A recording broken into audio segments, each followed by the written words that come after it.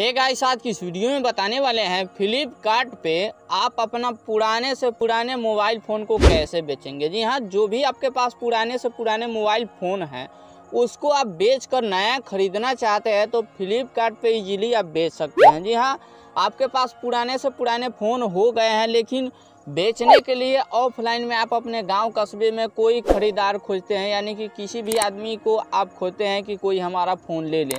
लेकिन आप लोगों को कोई आदमी नहीं मिलता है जिसके कारण से आप अपना फ़ोन नहीं बेच पाते हैं। लेकिन आप ऑनलाइन फ्लिपकार्ट आपके फ़ोन को खरीदेंगे, वो भी अच्छे खासे रुपये में। जी हाँ आपके मोबाइल फ़ोन को अच्छे प्राइस में फ्लिपकार्ट वाले ख़रीद लेंगे।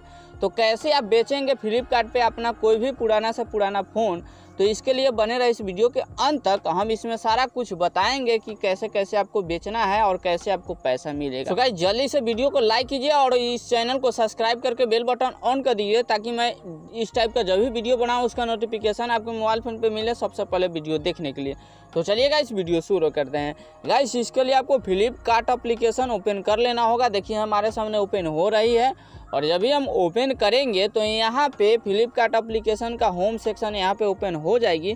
और आपके सामने यहाँ पे तीन लाइन की पट्टी दिखाई दे रही है कॉर्नर में। इस पर आपको क्लिक करना है। आपके मोबाइल फ़ोन में नीचा होगा या तो ऊपर होगा, लेकिन आपको थ्री लाइन की पट्टी पे आपको क्लिक कर देना है, यानी कि प्रेस कर देना है। जब भी आप प्रेस करेंगे तो इस तरह से जितने भी इसमें ऑप्शन है, वो सारे खुलकर ओपन होकर आ जाएगी आपके सामने। तो यहाँ से देख सकते हैं, ऊपर से यहाँ पे फोर्थ नंबर में एक ऑप्शन है, मोर ऑन फ्लिपकार्ट। इस पर आपको क्लिक करना है और जब भी आप क्लिक करेंगे तो यहाँ पे सेल बैक का एक ऑप्शन है, सेल बैक। इस पर आपको क्लिक करना है और जब भी आप क्लिक करेंगे तो यहाँ से सेल नाव और यहाँ पे सेल नाव लिखा हुआ है और यहाँ से सेल योर ओल्ड, यहाँ पे स्मार्टफ़ोन लिखा हुआ है। तो यहाँ से सेल नाव का यह बटन पीला हो रहा है और कलर इसमें चेंज होते रहा है। इस पर आपको क्लिक करना है। चलिए हम क्लिक किए। फ्लिपकार्ट आपसे यहाँ पे पूछेंगे कि आपका कौन से कंपनी का मोबाइल फ़ोन है? जो मोबाइल फ़ोन आप बेचना चाहते हैं, उस मोबाइल फ़ोन का यहाँ पे कंपनी सिलेक्ट कीजिएगा। यानी कि किस कंपनी से वो मोबाइल फ़ोन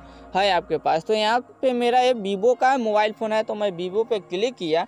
और यहाँ से आपको मॉडल सेलेक्ट करना होगा। तो चलिए हम यहाँ से मॉडल सेलेक्ट कर लेते हैं। जो भी आपका मॉडल है, उस मॉडल को यहाँ पर सिलेक्ट करना होगा। यहाँ पर स्क्रॉल करके आप यहाँ से देख सकते हैं कौन सा आपका मॉडल है। यहाँ पे आपको देख लेना होगा और देखने के बाद उसी पे आपको क्लिक कर देना होगा। तो चलिए हम यहाँ से अपने मोबाइल फ़ोन का मॉडल सेलेक्ट करते हैं। उसके बाद देखते हैं हमारे मोबाइल फ़ोन का कितना फ्लिपकार्ट ये पैसा दे रही है।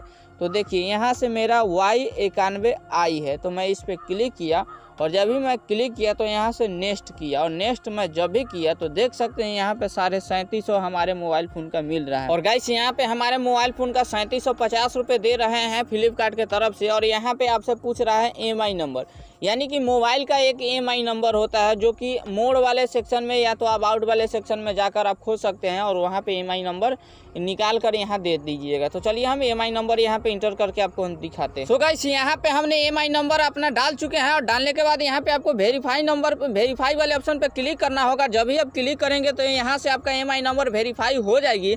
और होने के बाद यहाँ से राइट के चिन्ह आ गए यहाँ पे आपको नेक्स्ट वाले ऑप्शन पे क्लिक करना है।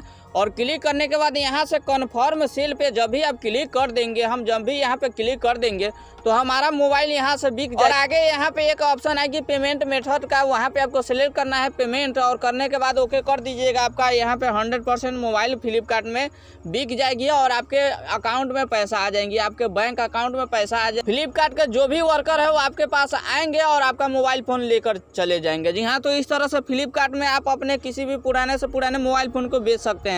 सो गाइस इसे वीडियो कैसा लगा कमेंट करके बताइए। इस वीडियो को लाइक कीजिए शेयर कीजिए अपने दोस्तों के साथ। तो चलिए आज के लिए इतना ही। मिलेंगे अगले वीडियो में एक नए टॉपिक के साथ।